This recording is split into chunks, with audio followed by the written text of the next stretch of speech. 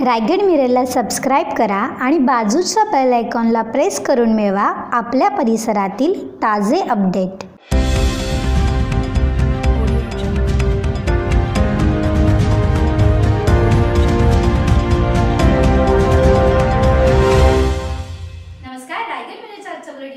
स्वागत. खोपोली येथे केंद्रीय मंत्री रामदास आठवले यांच्या मार्गदर्शनाखाली आरपीआय कार्यकर्ता मार्गदर्शन मेळावा आयोजित करण्यात आला होता.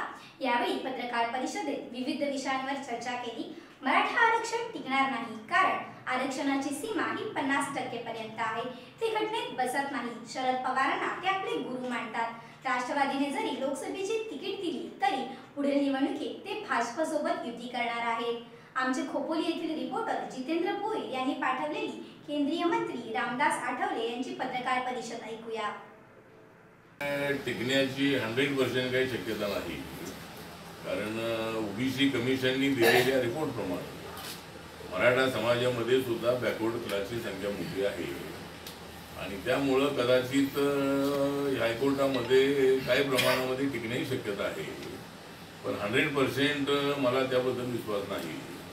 कारण सुप्रीम कोर्टाच्या निकालाप्रमाणे पन्नास टक्क्याच्या पुढे आरक्षण देता येत नाही.